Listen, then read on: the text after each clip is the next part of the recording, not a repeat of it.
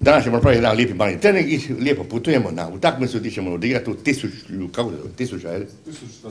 E, je službena utakmica, sve ovako jubilarno i mi smo zadovoljni, presretni, idemo na utakmicu da taj jubilej nekako prođemo pozitivno. E, vaša su pitanja preozbiljna, kao ozbiljna volja jedan bod. Mislim da razumijem šta je to, da šta bi će jedan bod, mi, mi idemo prvo dobiti utakmicu ako možemo, a sve će biti dobro osim poraza.